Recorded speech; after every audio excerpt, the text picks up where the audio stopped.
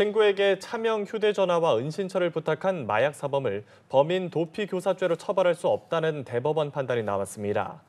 대법원은 지난달 25일 특가법 위반과 범인 도피 교사 혐의로 기소된 최모 씨에게 징역 8년을 선고한 원심 판결을 깨고 사건을 서울고법으로 돌려보냈습니다.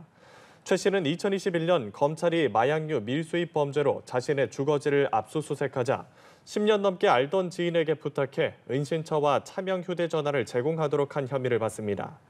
대법원은 피고인이 도망가기 위해 타인을 동원한 행위가 형사사법에 중대한 장애를 초래한다고 보기 어려운 통상적인 도피의 한 유형으로 볼 여지가 충분하다고 판단했습니다.